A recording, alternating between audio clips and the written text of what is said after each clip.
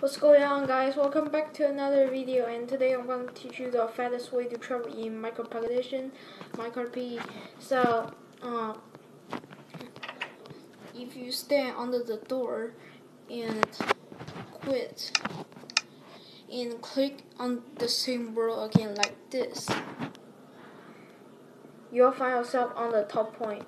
So, for this trick, and all you need to do is sunblock and the most important thing is you need to uh, place uh, a door in kind of door and you can use any blocks you want.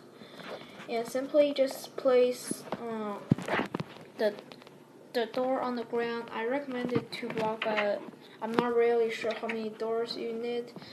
And so and you do this? Which is you stack up and and after I stack up them and now test out.